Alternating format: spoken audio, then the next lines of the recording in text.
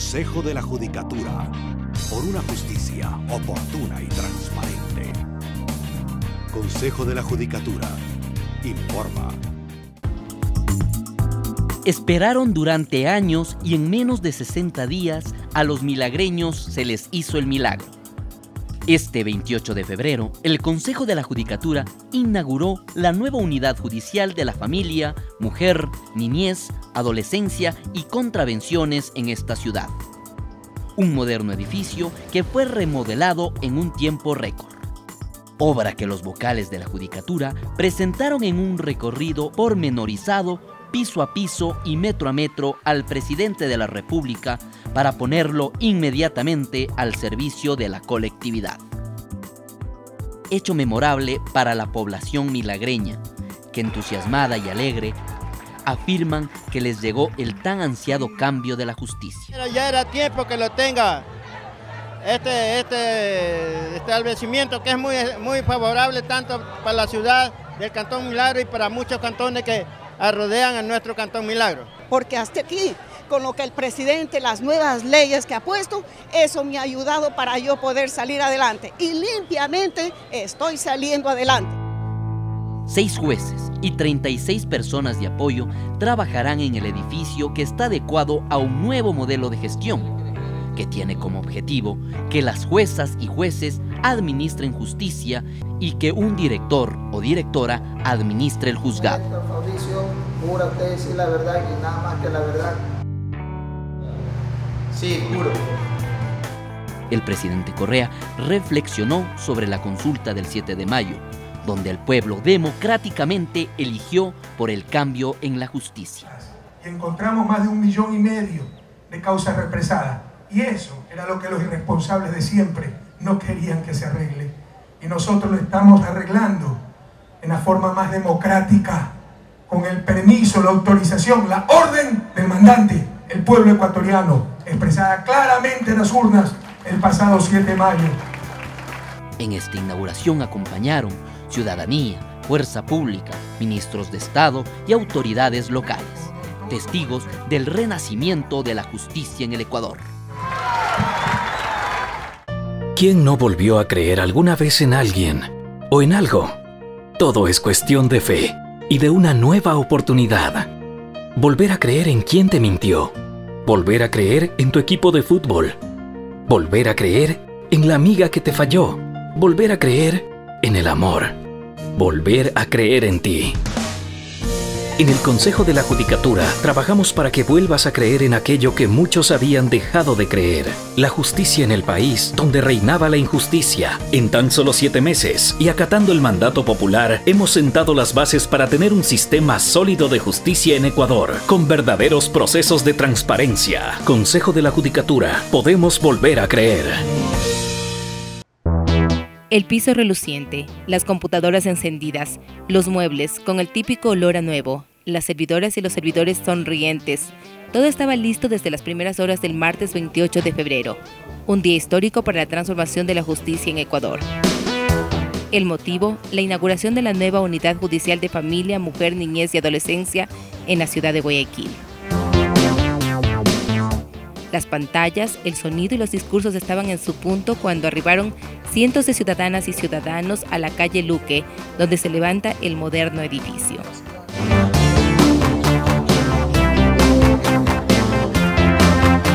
Este está muy bonito. Un recorrido de las autoridades del Consejo de la Judicatura con el presidente de la República, Rafael Correa, por los diferentes pisos marcó el inicio de su apertura.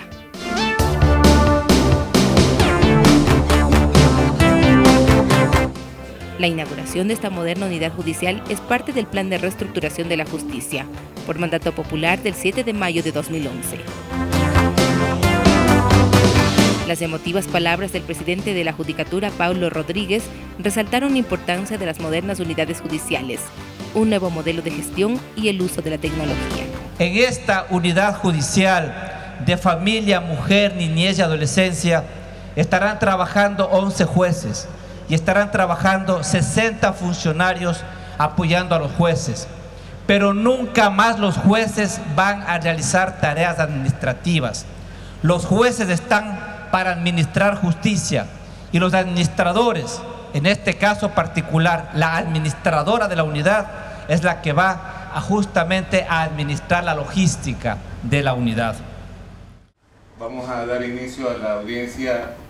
La unidad judicial cuenta con ocho salas de audiencias, una cámara de GESEL para la protección de las víctimas, salas para encuentros padres e hijos, 11 despachos de juezas y jueces, módulos de información y atención a los usuarios y una sala lúdica para recreación infantil.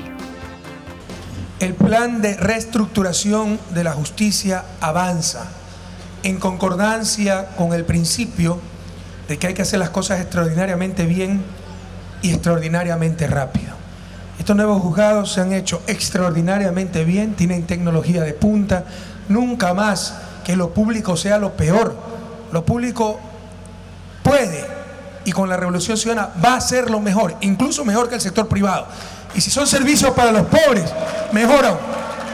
Estamos seguros que con estos procesos transparentes de concursos de merecimiento, en base a méritos, no en base a argollas, palanqueos, el país volverá a tener esos jueces sabios. Felicitaciones, señores jueces, si se pueden poner de pie, por favor. Todo el apoyo del gobierno nacional, todo el apoyo del pueblo ecuatoriano y confiamos en ustedes. Y por favor, denuncien a la prensa si alguno de ustedes fue perjudicado en el concurso, se lo puso por contactos políticos o algo de esa especie. La Unidad Judicial de Familia, Mujer, Niñez y Adolescencia de Guayaquil tiene una extensión de 3.900 metros cuadrados de construcción. La remodelación inició el 16 de diciembre de 2011 y concluyó el 27 de febrero de 2012, 35 días antes de lo previsto.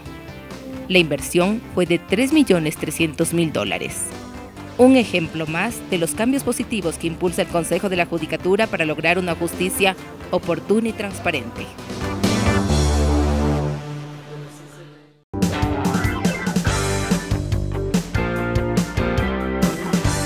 Consejo de la Judicatura.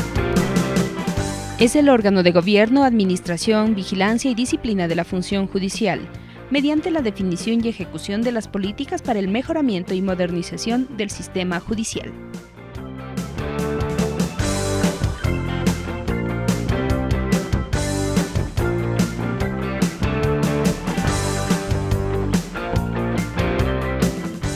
El Consejo de la Judicatura socializó en Cuenca y Guayaquil la propuesta de reforma procesal dirigida a crear un nuevo código procesal en materias no penales que simplifique, dé uniformidad y cumpla con la oralidad en los procesos judiciales. Petronio Ruales, gerente del eje de modelo de gestión de la reestructuración de la función judicial, hizo una evaluación del sistema actual y explicó el nuevo proceso de los trámites judiciales. Para todos ustedes va a ser mucho más fácil trabajar bajo una regla que bajo 50, 60 o 70 reglas. Porque esto, si es que sigue así, obviamente va a seguir creciendo el número de sistemas y procedimientos. La reforma tiene la asesoría del Centro de Estudios de la Justicia de las Américas, CEJA, de la Organización de Estados Americanos, OEA, los consultores chilenos Felipe Marín y Claudio Fuentes, a cargo del proyecto, se refirieron a temas como el juicio justo y los procedimientos de pequeñas causas. En general, en el debido proceso, el estándar de cuidado ordinario que se determine cuánto cuidado vamos a tener por regla general en sus distintos elementos al momento de conocer un caso, van a marcar la línea desde la cual se construye hacia más cuidado o menos cuidado que el ordinario. Existen casos, existen problemas que enfrenta un ciudadano que suponen un conflicto jurídico, pero que por su simpleza, por su cuantía, usualmente el ciudadano, particularmente si es una persona de escasos recursos, no llega al sistema judicial. A los talleres asistieron delegados de las Cortes Provinciales de Justicia, Fiscalía, colegios de abogados, universidades, organizaciones sociales, así como abogados en libre ejercicio de Cañar, Azuay, Loja, Zamora Chinchipe, Guayas, El Oro y Los Ríos.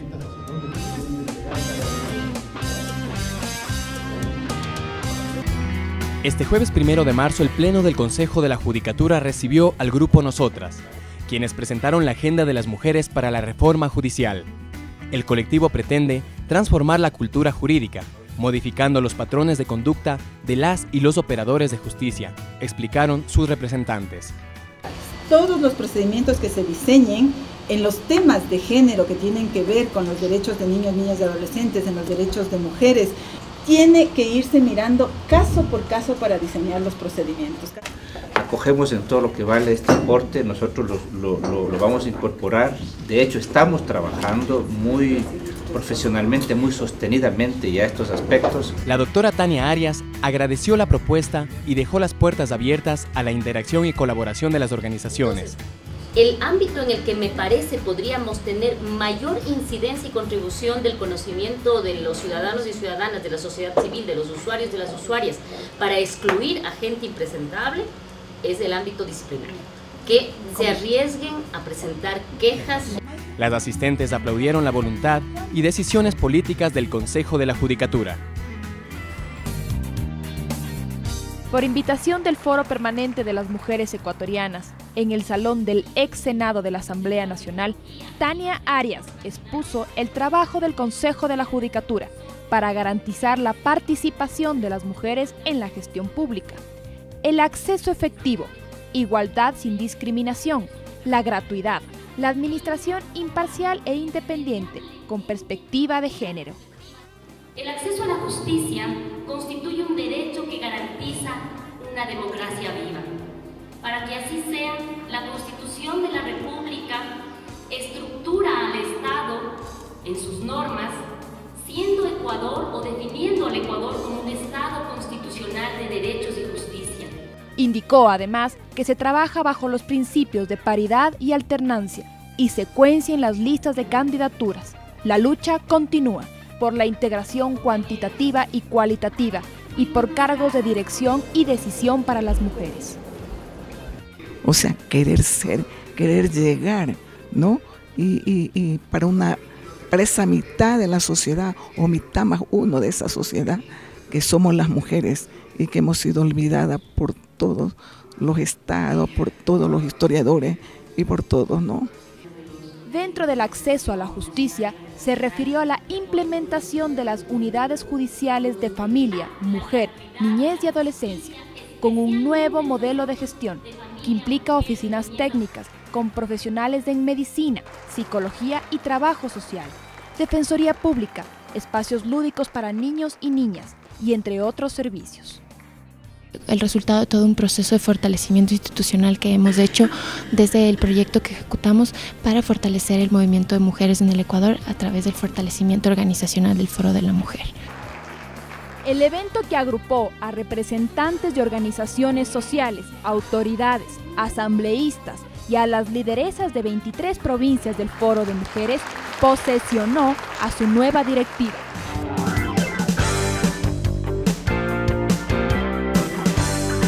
Consejo de la Judicatura.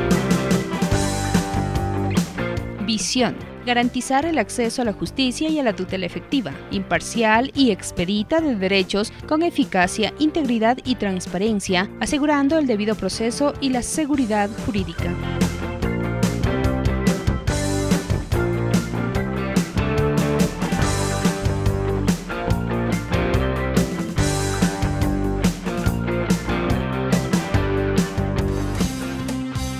Justicia oportuna y transparente.